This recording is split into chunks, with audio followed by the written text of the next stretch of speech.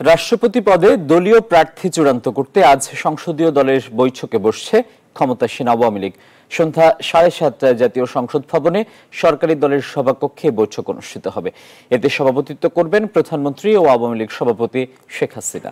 বর্তমান রাষ্ট্রপতি মোহাম্মদ আব্দুল হামিদের মেয়াদ চব্বিশে এপ্রিল শেষ হবে। এর আগেই বেছে নিতে হবে দেশের বাইশতম রাষ্ট্রপতি। নির্বাচন কমিশন এরই মধ্যে এই পদে নির্বাচনের জন্য তফসিল ঘোষণা করেছে। উনিশ ফেব্রুয়ারি অনুষ্ঠিত হবে রাষ্ট্রপতি নির্বাচন। আওয়ামী লীগের সংসদীয় দলের সর্বশেষ ষষ্ঠ সভা হয় বারো জানুয়ারি ওই সভায়। প্রবীণ রাজনীতিবিদ মতিয়া চৌধুরীকে সংসদে উপনীত করার সিদ্ধান্ত চূড়ান্ত হয়।